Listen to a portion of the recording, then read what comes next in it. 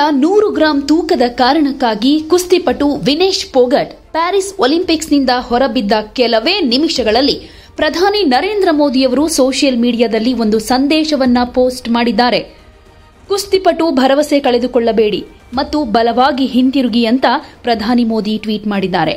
ವಿನೇಶ್ ಪೋಗಟ್ ಅನರ್ಹಗೊಂಡ ಬೆನ್ನಲ್ಲೇ ಮೋದಿಯವರು ಟ್ವೀಟ್ ಮಾಡೋ ಮೂಲಕ ವಿನೇಶ್ಗೆ ಧೈರ್ಯ ತುಂಬಿದ್ದಾರೆ. ನೀವು ಚಾಂಪಿಯನ್ನರ ಚಾಂಪಿಯನ್ ಅಂತ ಹೇಳಿದ್ದಾರೆ. ಮಹಿಳೆಯರ ಐವತ್ತು ಕೆಜಿ ಫ್ರೀ ಸ್ಟೈಲ್ ವಿಭಾಗದ ಫೈನಲ್ ಸ್ಪರ್ಧೆಯಿಂದ ವಿನೇಶ್ ಪೋಗಟ್ ಅನರ್ಹಗೊಂಡ ಬೆನ್ನಲ್ಲೇ ಮೋದಿಯವರು ಎಕ್ಸ್ನಲ್ಲಿ ಸಮಾಧಾನ ಹೇಳಿ ಬೆಂಬಲ ವ್ಯಕ್ತಪಡಿಸಿದ್ದಾರೆ.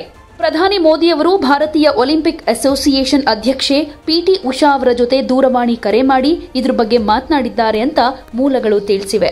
ನೀವು ಚಾಂಪಿಯನ್ಗಳಲ್ಲಿ ಚಾಂಪಿಯನ್, ನೀವು ಭಾರತದ ಹೆಮ್ಮೆ ಮತ್ತು ಪ್ರತಿಯೊಬ್ಬ ಭಾರತೀಯರಿಗೂ ಸ್ಫೂರ್ತಿ. ಇಂದಿನ ಹಿನ್ನಡೆ ನೋವು ತಂದಿದೆ. ಪದಗಳಲ್ಲಿ ನಾನು ಅನುಭವಿಸ್ತಾ ಇರೋ ಹತಾಶೆಯ ಅರ್ಥವನ್ನ ವ್ಯಕ್ತಪಡಿಸಬಹುದು ಅಂತ ನಾನು ಬಯಸ್ತೀನಿ. ಸವಾಲುಗಳನ್ನ ಎದುರಿಸೋದು ಯಾವಾಗಲೂ ನಿಮ್ಮ ಸ್ವಭಾವ. ಮತ್ತೆ ಶಕ್ತಿಶಾಲಿಯಾಗಿ ಮರಳಿ ಬನ್ನಿ. ನಾವು ನಿಮ್ಮ ಜೊತೆಗಿದ್ದೀವಿ ಅಂತ ಮೋದಿ ಪೋಸ್ಟ್ ಮಾಡಿದ್ದಾರೆ. ಇಂದು ನೀವು ಫೈನಲ್ ತಲುಪಿ ಚಿನ್ನ ಗೆಲ್ಲೋದಕ್ಕಾಗದೇ ಇರಬಹುದು. ಫೈನಲ್ಗೆ ನೀವು ಅನರ್ಹರಾಗಿರಬಹುದು ಆದರೆ ಇಂದಿನ ನಿಮ್ಮ ಹಿನ್ನಡೆ ನೋವು ತಂದಿದೆ. ಧೈರ್ಯವಾಗಿ ಮರಳಿ ಅಂತ ಧೈರ್ಯ ತುಂಬೋ ಕೆಲಸ ಮಾಡಿದ್ದಾರೆ ಮೋದಿ. ಆಗಸ್ಟ್ ಆರರ ಮಂಗಳವಾರ ರಾತ್ರಿ ನಡೆದ ಸೆಮಿಫೈನಲ್ ಪಂದ್ಯದಲ್ಲಿ ಕೂಬಾದ ಎಸ್ನಿಲಿಸ್ ಗುಜ್ಮಾನ್ ಅವರನ್ನ ಐದು ಸೊನ್ನೆ ಅಂತರದಿಂದ ಸೋಲಿಸಿದ ವಿನೇಶ್ ಫೈನಲ್ಗೇರಿದ್ರು. ಕ್ವಾರ್ಟರ್ ಫೈನಲ್ನಲ್ಲಿ ಹಾಲಿ ಚಾಂಪಿಯನ್ ಜಪಾನ್ನ ಯುಇ ಸುಸಾಕಿಯನ್ನ ಸೋಲಿಸಿದ್ರು. ಒಲಿಂಪಿಕ್ಸ್ ಇತಿಹಾಸದಲ್ಲೇ ಫೈನಲ್ ಪ್ರವೇಶಿಸಿದ ಮೊದಲ ಭಾರತದ ಮಹಿಳಾ ಕುಸ್ತಿಪಟು ಅನ್ನೋ ಹೆಗ್ಗಳಿಕೆಗೆ ವಿನೇಶ್ ಪಾತ್ರರಾಗಿದ್ರು. ಆದರೆ ಈಗ ತೂಕ ಜಾಸ್ತಿ ಆಯಿತು ಅನ್ನೋ ಕಾರಣಕ್ಕೆ. ಅದರಲ್ಲೂ ಐವತ್ತು ಕೆಜಿ ತೂಕ ಇಲ್ಲದೆ ನೂರು ಗ್ರಾಂ ಜಸ್ಟ್ ನೂರು ಗ್ರಾಂ ತೂಕ ಜಾಸ್ತಿ ಆಯಿತು ಅನ್ನೋ ಕಾರಣಕ್ಕೆ ಫೈನಲ್ ಪಂದ್ಯದಿಂದ ಅವರು ಅನರ್ಹರಾಗಿದ್ದಾರೆ. ಭಾರತದ ಇತಿಹಾಸದ ಪುಟಗಳಲ್ಲಿ ವಿನೀಶ್ ಅವರ ಹೆಸರು ಸೇರ್ಪಡೆಯಾಗುತ್ತೆ ಅಂತ ಕೋಟ್ಯಾಂತರ ಅಭಿಮಾನಿಗಳು ಆಸೆ ಇಟ್ಕೊಂಡ್ರು.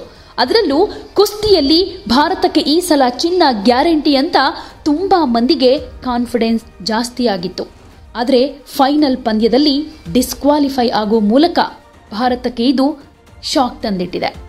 ವಿನೇಶ್ ಪೋಗಟ್ ಫೈನಲ್ಗೆ ಆಯ್ಕೆಯಾದ ತಕ್ಷಣ ಮೋದಿ ಸರ್ಕಾರದ ವಿರುದ್ಧ ಅನೇಕರು ಅನೇಕ ರೀತಿಯಲ್ಲಿ ಟ್ರೋಲ್ಗಳನ್ನು ಮಾಡಿ ಪ್ರಶ್ನೆಗಳನ್ನು ಕೂಡ ಮಾಡ್ತಾ ಇದ್ರು. ಯಾಕಂದ್ರೆ ಪ್ರಧಾನಿ ಮೋದಿ ನೇತೃತ್ವದ ಸರ್ಕಾರವನ್ನೇ ವಿನೇಶ್ ಪೋಗಟ್ ಅವರು ಎದುರು ಹಾಕಿಕೊಳ್ಳೋ ಪರಿಸ್ಥಿತಿ ಬಂದಿತ್ತು. ಕಳೆದ ವರ್ಷ ಅಂದ್ರೆ ಎರಡ್ ಸಾವಿರದ ಇಪ್ಪತ್ತ್ ಕುಸ್ತಿಪಟುಗಳು ದೊಡ್ಡ ಹೋರಾಟವನ್ನ ಮಾಡಿದ್ರು. ಭಾರತಕ್ಕೆ ಒಲಿಂಪಿಕ್ಸ್ ಕ್ರೀಡಾಕೂಟ ಸೇರಿದ ಹಾಗೆ ಕಾಮನ್ವೆಲ್ತ್ ಏಷ್ಯನ್ ಗೇಮ್ಸ್ ಕ್ರೀಡಾಕೂಟಗಳಲ್ಲಿ ಪದಕ ಗೆದ್ದುಕೊಟ್ಟಿದ್ದ ಕುಸ್ತಿಪಟುಗಳು ಮೋದಿ ಸರ್ಕಾರದ ವಿರುದ್ಧ ತಿರುಗಿ ಬಿದ್ದಿದ್ರು.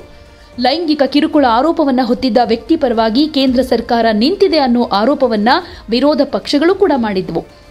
ಭಾರತಕ್ಕಾಗಿ ಪ್ಯಾರಿಸ್ ಒಲಿಂಪಿಕ್ಸ್ ಕ್ರೀಡಾಕೂಟದಲ್ಲಿ ಚಿನ್ನದ ಪದಕ ಗೆದ್ದುಕೊಡೋದಕ್ಕೆ ರೆಡಿಯಾಗಿದ್ದ ವಿನೇಶ್ ಪೋಗಟ್ ವಿರುದ್ಧ ಕೂಡ ಸಾಕಷ್ಟು ಆರೋಪಗಳನ್ನು ಮಾಡಿದ್ರು. ಮೋದಿ ಸರ್ಕಾರವನ್ನ ಎದುರು ಹಾಕೊಂಡು ಹೇಗೆಲ್ಲ ಪರದಾಡಿದ್ರು ಗೊತ್ತಾ? ವಿನೇಶ್ ಪೋಗಟ್. ಬ್ರಿಜ್ ಭೂಷಣ್ ಶರಣ್ ಸಿಂಗ್ ವಿರುದ್ಧ ಭಾರಿ ಗಂಭೀರವಾದ ಆರೋಪ ಕೇಳಿಬಂದಿತ್ತು. ಮಹಿಳಾ ಕುಸ್ತಿಪಟುಗಳು ಬ್ರಿಜ್ ಭೂಷಣ್ ಶರಣ್ ಸಿಂಗ್ ಅವರಿಂದ ಕಿರುಕುಳ ಅನುಭವಿಸಿದ್ರು ಅಂತ ಆರೋಪ ಮಾಡಲಾಗಿತ್ತು. ಹೀಗಿದ್ದಾಗ ಬ್ರಿಜ್ ಭೂಷಣ್ ಸಿಂಗ್ ಈ ಸ್ಥಾನಕ್ಕೆ ಅರ್ಹರಲ್ಲ ಅಂತ ಆಕ್ರೋಶ ವ್ಯಕ್ತಪಡಿಸಿದ್ರು. ಹೀಗಾಗಿ ಈ ಹೋರಾಟ ದೊಡ್ಡ ಮಟ್ಟದಲ್ಲೇ ನಡೀತು. ವಿನೇಶ್ ಪೋಗಟ್ ಸೇರಿದ ಹಾಗೆ ದೊಡ್ಡ ದೊಡ್ಡ ಕುಸ್ತಿ ಪಟುಗಳೇ ಹೋರಾಟಕ್ಕೆ ಎಂಟ್ರಿ ಕೊಟ್ಟಿದ್ರು.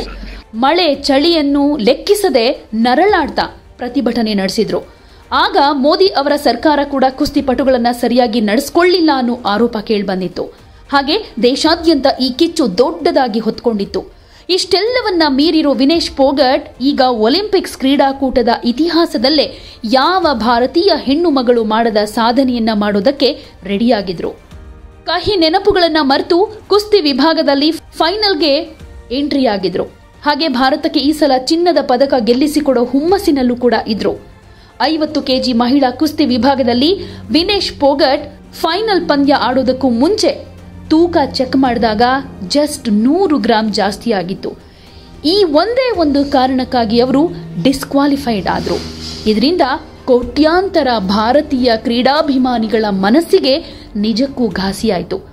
ಇದರ ಜೊತೆಗೆ ನಿನ್ನೆ ಮೊನ್ನೆ ಎಲ್ಲ ಮೋದಿಯವರ ಕುರಿತಾಗೆ ಸಖತ್ ಟ್ರೋಲ್ ಮಾಡ್ತಾ ಇದ್ರು. ಯಾಕಂದ್ರೆ ಈಗ ಮೋದಿಯವರು ಯಾವ ಮುಖ ಇಟ್ಕೊಂಡು ವಿನೇಶ್ ಪೋಗಟ್ಗೆ ಶುಭಾಶಯ ಹೇಳ್ತಾರೆ.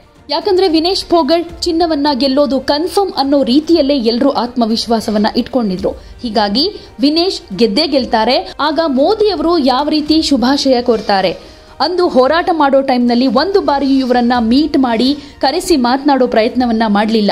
ಈಗ ಈಕೆ ಭಾರತದ ಹೆಸರನ್ನ, ಭಾರತದ ಕೀರ್ತಿಯನ್ನ ಜಗತ್ತಿನ ಮುಂದೆ ಎತ್ತಿ ಹಿಡಿದಾಗ ಮೋದಿಯವರು ಹೇಗೆ ಶುಭಾಶಯ ಕೋರ್ತಾರೆ ಅನ್ನೋದ್ರ ಬಗ್ಗೆ ತುಂಬಾನೇ ಮಂದಿ ಟ್ರೋಲ್ ಮಾಡ್ತಾ ಇದ್ರು. ಜೊತೆಗೆ ಫೈನಲ್ಗೆ ಆಯ್ಕೆಯಾಗಿದ್ದಕ್ಕೆ ಮೋದಿ ಕಡೆಯಿಂದ all the best message.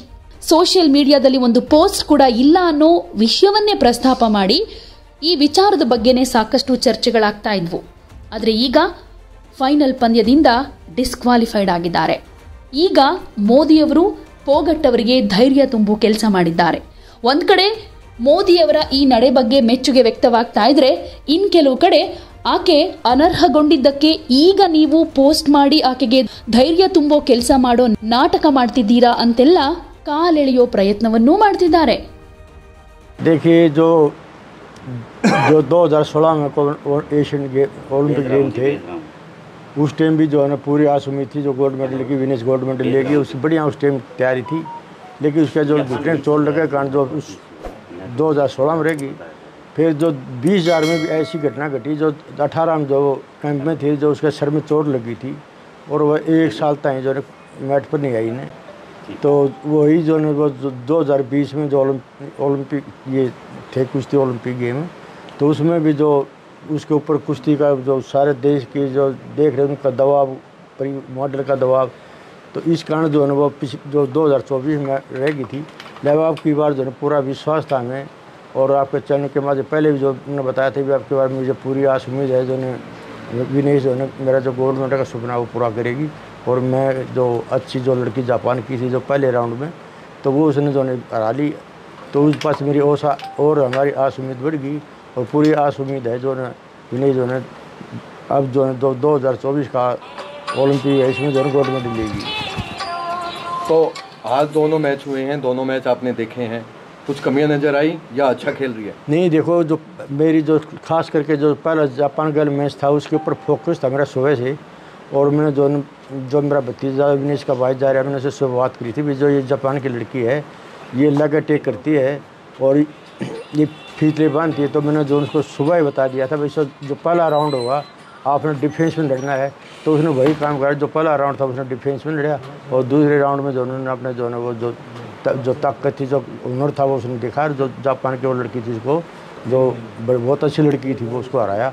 तो इससे ज़्यादा जो खुशी की बात मेरे क्या सारे देश को है, जो आज विनेश जो ने गोल्ड मेडल लेके आएगी तो ये पहली जो कुश्ती में जो रेसल होगी जो ओलंपिक में गोल्ड मेडल लेगी और मेरी पूरी आस उम्मीद है, अब के बाद गोल्ड मेडल लेके आएगी।